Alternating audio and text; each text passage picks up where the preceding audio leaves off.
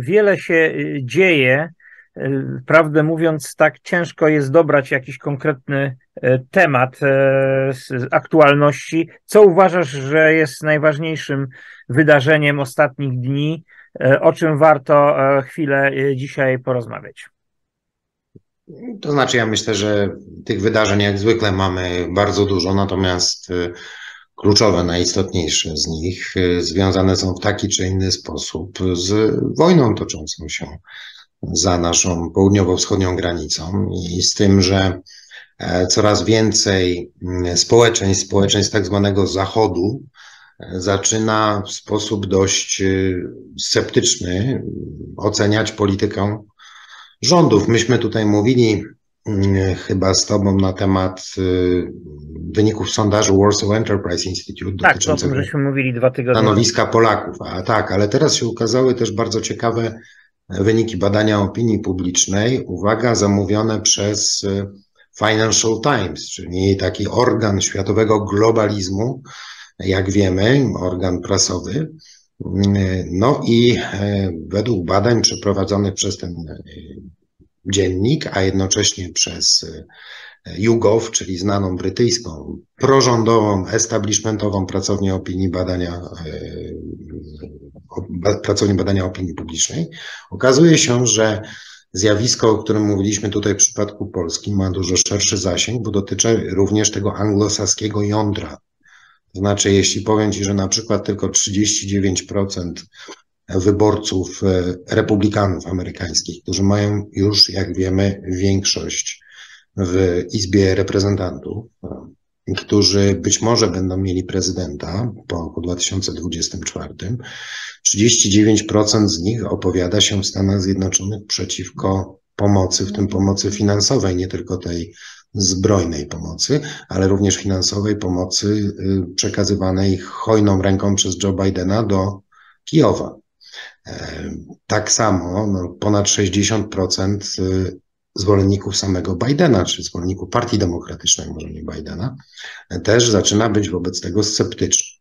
Tak samo dzieje się w Wielkiej Brytanii. Coraz większa liczba ankietowanych w różnych sondażach e, twierdzi mówi wprost o tym, że nie tylko przekazywanie kolejnych e, miliardów, czy to w formie pomocy finansowej, czy to w formie sprzętu, uzbrojenia e, Kijowowi, jest czymś, jest działaniem wbrew interesom ich własnych państw, ich własnych krajów, ale też twierdzą, że i te sankcje, to są bardzo ciekawe wyniki sondażu. Otóż w Wielkiej Brytanii okazuje się, że tylko 35% ankietowanych opowiada się za zaostrzeniem sankcji wobec Federacji Rosyjskiej, no bo ludzie sobie zaczynają zdawać sprawę nie tylko w Polsce, ale też w innych krajach, że mm, taka konfrontacyjna polityka, polityka nastawienia na eskalację w e, tym konflikcie zaczyna być groźna nie tylko dla nas e, pod kątem takim geopolitycznym, geostrategicznym czy e, odpukać militarnym, ale zaczyna być po prostu groźna dla ich kieszeni.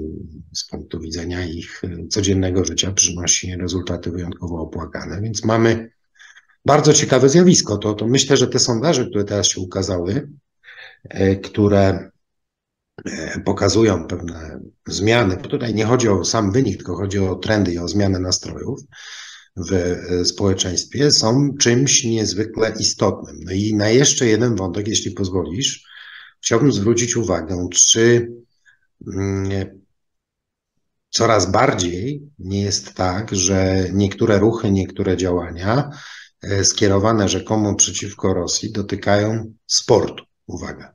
Nie wiem, czy y, słyszałeś, Rafale, o sprawie kibiców Śląska Wrocław, jeśli chodzi o nasze własne polskie podwórko. No, y, zostali jakoś ukarani za wywieszanie transparentów To nie nasza wojna, a wcześniej w tym samym miejscu wywiesili transparent Stop Ukrainizacji Polski. No właśnie.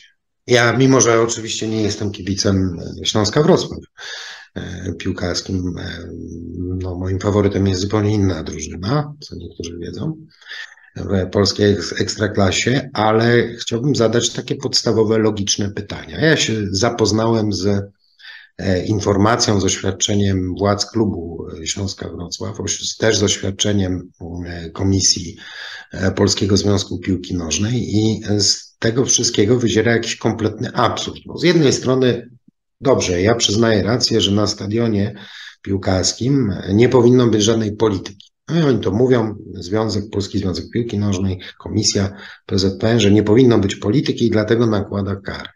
No ale czy nie było polityką to, jak się pojawiały wszędzie ukraińskie flagi? Czy nie było polityką, jak się pojawiały proukraińskie hasła?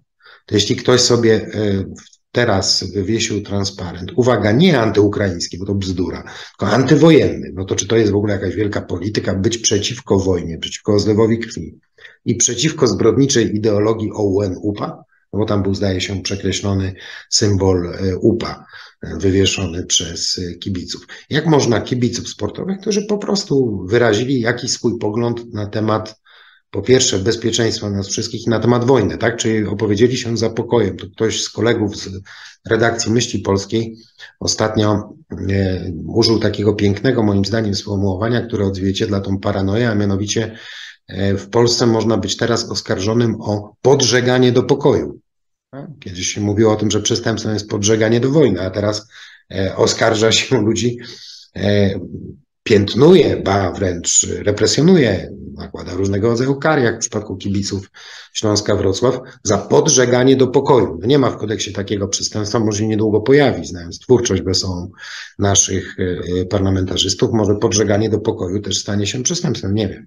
Ale póki co e, na razie tym przestępstwem nie jest i no po prostu e, to zachowanie, zachowanie wobec kibiców Śląska Wrocław, którzy wywiesili ten transparent, jest jakimś kompletnym e, orwellowskim absurdem.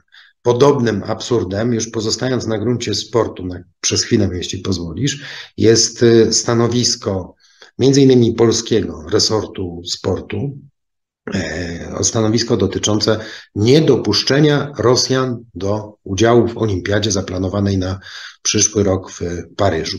Otóż Podobnie absurdalny postulat wysuwa notabene socjalistyczna, wywodząca się z socjaldemokracji tamtejszej lewicowa, niby e, mer Paryża Anne Hidalgo.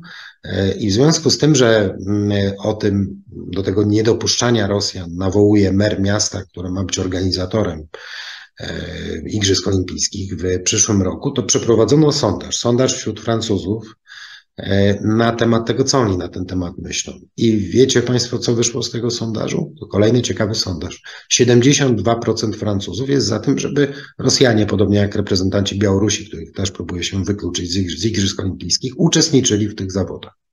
Więc znów mamy ten rozdźwięk e, pomiędzy systemem, pomiędzy establishmentem w różnych krajach, w Polsce również, jego poglądami, jego propagandą również, jego zaklęciami prowojennymi w tej chwili, a opinią publiczną zaczyna być tak duży w Europie, że ja się zastanawiam, jakie będą tego efekty. Efekty mogą być dwa, albo zapanuje i na razie w tym kierunku idziemy, totalny zamordyzm.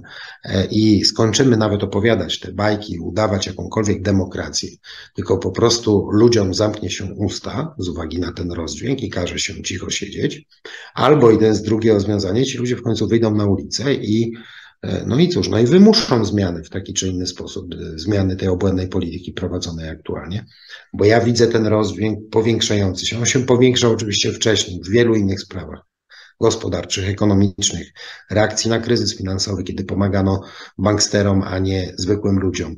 E, e, już nie mówię o lockdownach i o sytuacji z COVID-em, kiedy ten rozdźwięk też zaczął być tak ogromny, też u nas w Polsce, że mm, no właściwie uprawnionym jest dzisiaj twierdzenie, że ta klasa polityczna jest całkowicie oderwana od myśli, problemów i codziennego dnia e, przeciętnego polskiego obywatela, a teraz e, przy okazji tej wojny, tej tragicznej wojny e, i przy okazji tego piętnowania osób podżegających do pokoju, jeszcze raz użyję tego ironicznego sformułowania kolegów z myśli polskiej, no cóż, ten rozdźwięk się będzie jeszcze bardziej powiększył.